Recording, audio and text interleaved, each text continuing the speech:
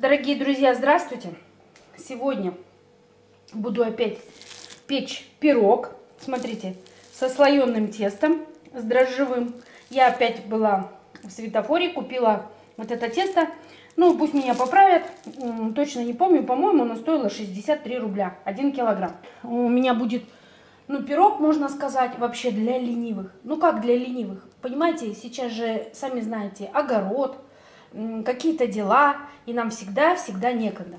И начинка у пирога будет следующая. У меня будет помидорки, две штучки у меня всего, можно и побольше. А, теперь луковка у меня красненькая, сыр и у меня грудинка. Сейчас нам нужно освободить тесто. Я раскатаю пластик по листику, буду раскатывать. Сразу сбрызну форму. Духовку сейчас включу, пока я тут вожусь и духовка согреется. Мне надо на 180 градусов духовку поставить, чтобы она нагрелась. Я уже тесто тут начала раскрывать. Смотрите, как оно подошло. Оно у меня дрожжевое. Мне нравится дрожжевое. Вот смотрите, я распределила ровно килограмм теста по вот этому листику из духовки стандартному, однако. Теперь я сверху буду посыпать сыром. Совсем-совсем чуть-чуть я припылила тесто мукой. Теперь сейчас я прям сюда натру сыр.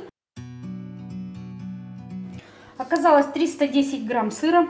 Для любителей сыра это вообще замечательно. Чем больше, тем лучше. И похоже даже на это, этот пирог, похож на пиццу, а-ля пицца типа, да? Ну, быстро и вкусно. Так, следующее у меня будет помидорки с луком, а потом грудинка. А, кто не любит лук, тот может его вообще не класть. Какие-нибудь приправки свои любимые добавьте. Слоеное тесто, сыр и грудинку. Готовим дальше. Лук я порежу полукольцами и желательно как можно потоньше.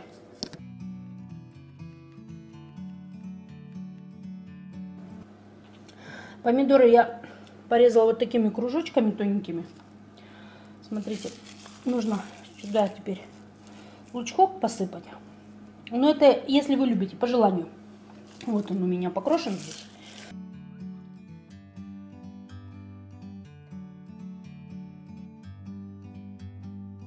Сверху укладываем помидорки.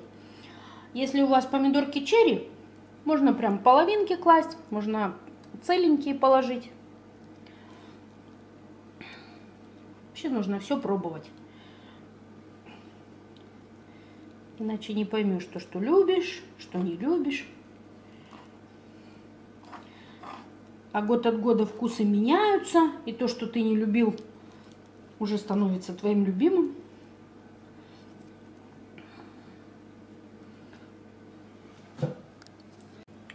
Распределила помидорки. Теперь вот самый вкусный слой ну, как я думаю, это вот грудинка такая. Сейчас буду ее тоже тоненько резать и раскладывать сверху. Порезала грудинку на тоненькие пластинки. И теперь распределяю по пирогу. И останется только запечь его.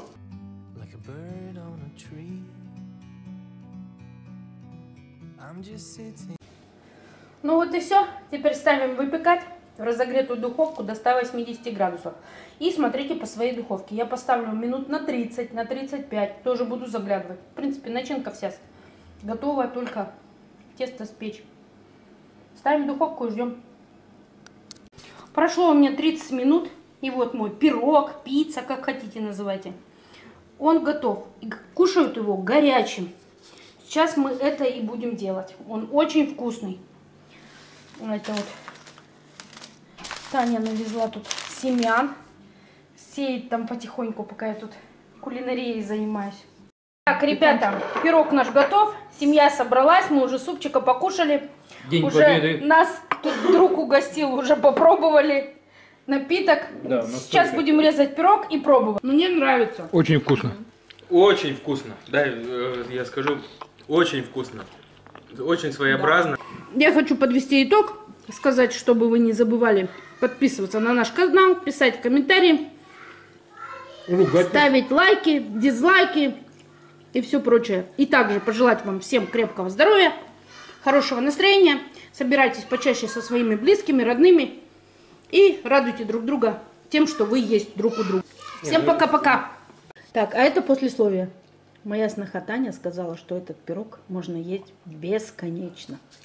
Это высшая похвала. Подтверждаю.